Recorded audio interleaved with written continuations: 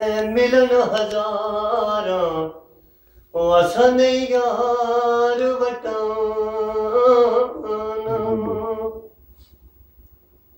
ਜਿਸ ਦਿਲ ਅੰਦਰ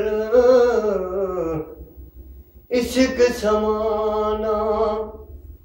ਉਸ ਨਹੀਂ ਫਿਰ ਜਾਣਾ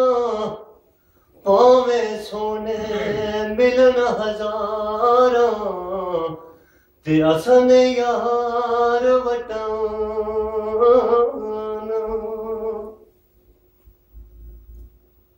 ਭਾਵੇਂ ਸੋਹਣੇ ਮਿਲਣ ਹਜ਼ਾਰਾਂ ਅਸਨ ਯਾਰ ਵਟਾਨਾ